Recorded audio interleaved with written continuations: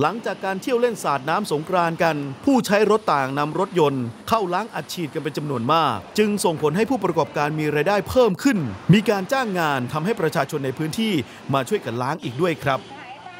สำหรับบรรยากาศหลังจากการท่องเที่ยวเล่นสาดน้ำในช่วงเทศกาลสงกรานต์โดยพบว่านะครับมีบรรดาผู้ใช้รถใช้ถนน ต่างนำรถยนต์ เข้ามารับบริการล้างอัดฉีดที่ร้านคาแคร์ในเขตเมืองลบบุรีแล้วก็เขตรอบเมือง เพื่อล้างสิ่งสกปรก และก็รอยเปื้อนบนสีรถจากดินสอพองและก็แป้ง ทั้งนี้เพื่อที่จะเตรียมการกลับไปทำงาน แล้วก็บางคัน ก็พบว่ากลับมาจากการเดินทางไปร่วมงานเทศกาลสงกรานต์ยังบ้านเกิดครับ ซึ่งคาร์แคร์แต่ละแห่งจะมีเจ้าของรถนำรถยนต์ไปล้างไม่ต่ำกว่าวันละ 30 คัน จนทำให้คาร์แคร์หลายแห่งต้องเพิ่มพนักงานล้างรถขึ้น อีกหลายคน เพื่อให้ทันกับความต้องการของลูกค้าสำหรับค่าบริการรถยนต์แต่ละคันนะครับก็จะติดค่าบริการตามประเภทของรถ เริ่มจากล้างสีอัตราค่าล้างระหว่าง 100 บาทถึง 160 บาท ซึ่งส่งผลให้ร้านคาแคร์แต่ละแห่งมีรายได้เพิ่มมากขึ้นหลายเท่าตัวจากวันปกติครับ นอกจากนี้ยังส่งผลให้ประชาชนในพื้นที่ และที่ว่างงานทำให้มีรายได้จากการรับจ้างล้างรถในช่วงหลังเทศกาลสงกรานต์โดยเฉพาะเยาวชนครับในช่วงนี้เป็นช่วงปิดภาคเรียน